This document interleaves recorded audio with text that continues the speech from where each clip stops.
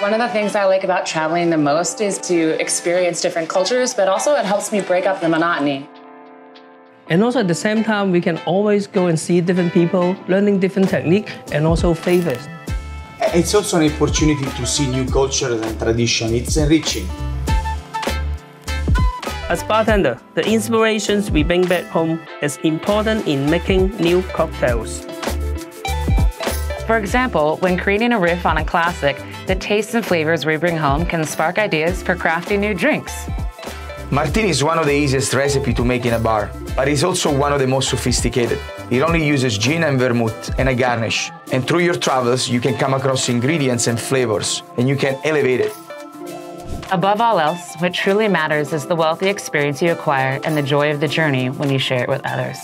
Cheers!